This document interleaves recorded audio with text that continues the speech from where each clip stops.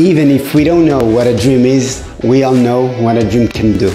Dreams can change the world. More than 10 years ago, a movement started with the goal to share true Judaism with people that in many cases never heard of this word. Now, after those 10 years, Olami has 320 organizations in 28 countries and actually has 45,000 students. In a soccer World Cup final, the stadium has the capacity to have Olami students. That's Olami of 2017. In the short history of Olami, more than a quarter million people were part of its history. Now the students are the responsible ones to take the movement forward. I would like to highlight and at the same time congratulate the initiative of the students in the last summit that happened in Brazil. Every single group from every single country presented an idea, a program, a proposal that they wanted to do in their own cities.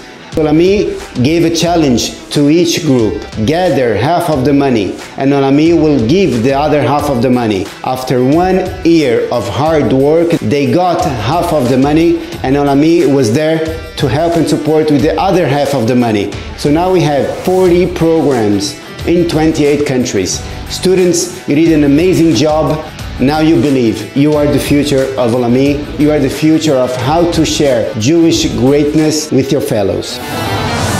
I would like to share with you a major highlight for 2017, the program Mosaic. It's an initiative from the Israeli government to engage, inspire and educate young Jews around the world. And now we would like to thank you for this initiative to protect the borders of Judaism outside of Israel through Jewish education.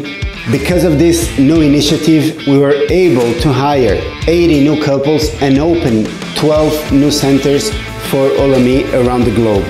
So we would like to thank you, the State of Israel, in the presence of Minister Naftali Bennett, for this partnership, for this initiative, and he's here tonight with us. Thank you very much.